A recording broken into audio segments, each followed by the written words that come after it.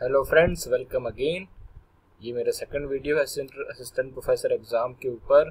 और इस वीडियो में बिकॉज़ हमारा कॉमर्स मैनेजमेंट का सब्जेक्ट है, इसलिए हम कॉमर्स का सिलेबस जो कि एम असिस्टेंट प्रोफेसर एग्ज़ाम के एडवर्टाइजमेंट में इंक्लूड है कॉमर्स का सब्जेक्ट तो इस सब्जेक्ट से मैनेजमेंट में जिसने किया हो नेट वो भी दे सकता है।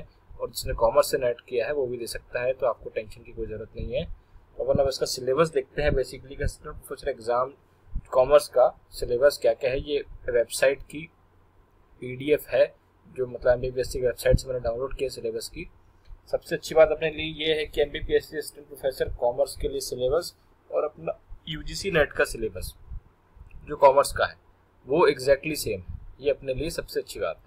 तो अपन ने अब तक जो यू नेट अपन ने कॉमर्स से निकाल रखा है मैनेजमेंट से निकाल रखा है तो ये अपने को बहुत अच्छा हेल्प करने वाला है। अब क्योंकि अपन इसके बारे में पहले से पढ़ते आ रहे हैं अगर आपने कोई अभी बुक इसके लिए सर्च कर रहे हैं कि असिस्टेंट प्रोफेसर एग्ज़ाम के लिए कौन सी बुक से पढ़ें कॉमर्स के लिए तो सबसे अच्छी बुक अपने लिए यही है कि अपन U G C NET tutor Arian publication की जो बुक है कॉमर्स की, वो आप ले लें।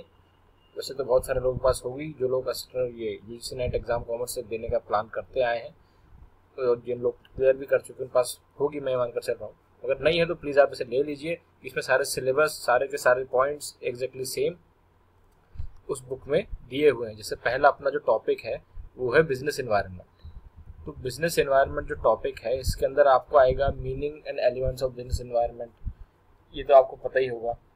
Economic environment economic policies economic planning legal environment of business in India competition policy consumer protection environment protection policy environment liberalisation privatisation globalisation second generation reform industrial policy and implementation industrial growth and structure changes तो ये अपना details है।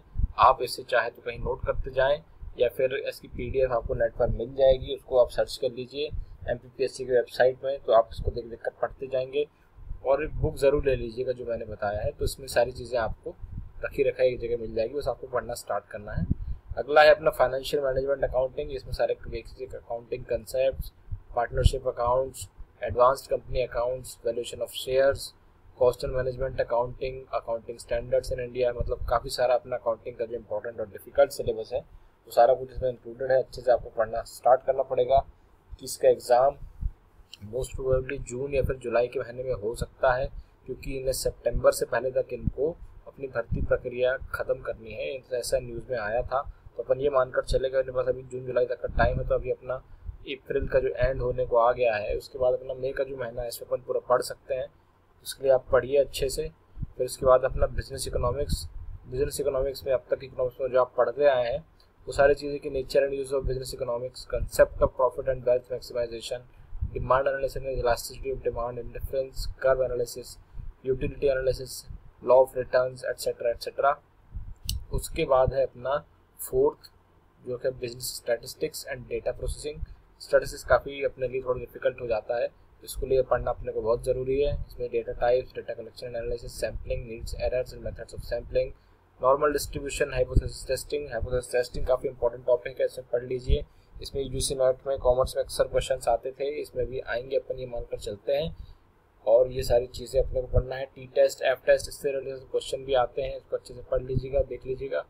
और computer application to functional areas accounting inventory control marketing मतलब data processing and computer application भी इन्होंने इसके अंदर में इंक्लूड कर दिया है तो इसका भी अपने को चैप्टर है अपनी बुक में, जो यूसी नेट ट्यूटर जो मैंने बताया रियल पब्लिकेशन की कॉमर्स की, उसको आप परचेस कर लीजिए, सब कुछ इसमें आपको मिल जाएगा।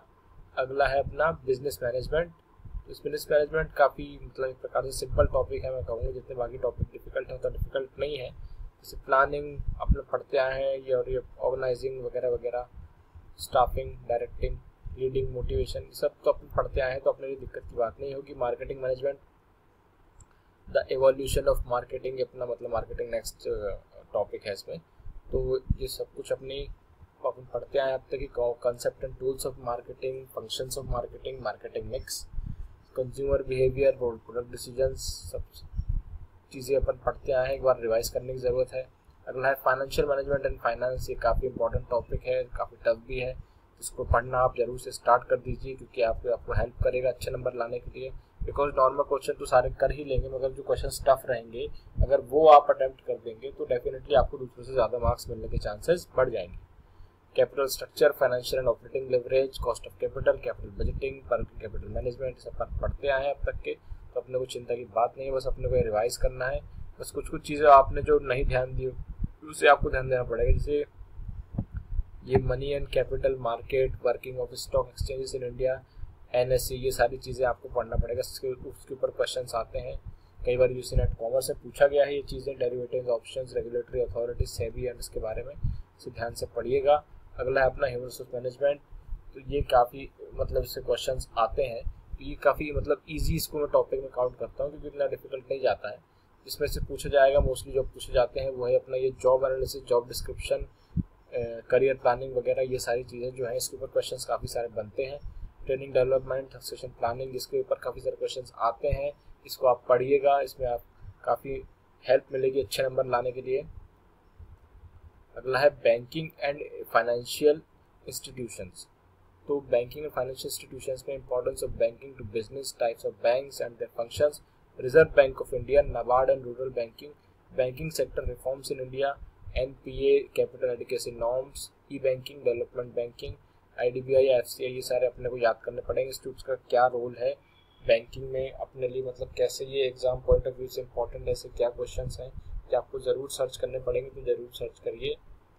लास्ट टॉपिक है अपना इंटरनेशनल बिज़नेस इंटरनेशनल बिज़नेस में international business balance of payments international liquidity international economic institution such as I M F world bank I F C I D A D B काफ़ी important है। इससे question भी आते हैं कि IMF का। जैसे कई बार पूछ लिया जाता है कि हेडक्वार्टर कहाँ सिचुएटेड है वर्ल्ड बैंक कहाँ सिचुएटेड है। इस तरह के क्वेश्चन भी आपको मिल सकते हैं। जैसे पढ़ लीजिए ध्यान से। World trade organization its function and policy structure of India foreign trade ये एग्जिम पॉलिसी और ये regulation and promotion of foreign trade ये सब काफ़ी पूछा जाता है तो उसको ध्यान से पढ़िएगा। और foreign direct investment and multinational corporation M N C culture M N C L D C joint ventures ये सारी चीज़ें हम पढ़ते आए हैं, बस हमको रिवाइज करने की ज़रूरत है अच्छे से। तो जो बुक मैंने बताया, उसको आप ज़रूर से परचेस करिए, इससे अच्छे से पढ़िए। अभी अपने पास टाइम अपन कहेंगे कि बस कम है तो जितना जल्दी से जल्दी अपन जितना सारा पढ़ सकें, इसको ध्यान से पढ़िए। और इस एग्ज़ाम में अच्छे नंबर आप ला सकते हैं। बस आपको थोड़ा सा कंसंट्रेशन रखने की ज़रूरत है। और अगर हिंदी मीडियम के कोई स्टूडेंट्स हैं यहाँ पर, हिंदी मीडियम से कोई देने वाला है तो उसके लिए भी ये जो एम की वेबसाइट है, उसमें ये जो पीडीएफ डाउनलोड की है मैंने, सारा कुछ हिंदी में दे रखा है। इसको आप देख लें एक बार। सहायक प्राध्यापक, लिखित परीक्षा, पाठ्यक्रम, वाणिज्य मतलब भाई सारी चीज़ें मैंने इंग्लिश में बताया है, इसमें हिंदी में अवेलेबल है। इसको आप ज़रूर से देख लीजिए डाउनलोड कर लीजिए इससे आपको पास करने में काफ़ी हेल्प मिलेगी। और आज के लिए फ्रेंड्स इतना ही। मैं अपने आने वाले वीडियो में इसके बारे में और बताऊँगा आपको। तो तब तक के मेरे चैनल लाइक करिए सब्सक्राइब करिए कमेंट करिए शेयर करिए और सब्सक्राइब भी ज़रूर कीजिए और बेल आइकन को प्रेस करिए। Thank you very much for watching हमारे चैनल से जुड़े रहिए।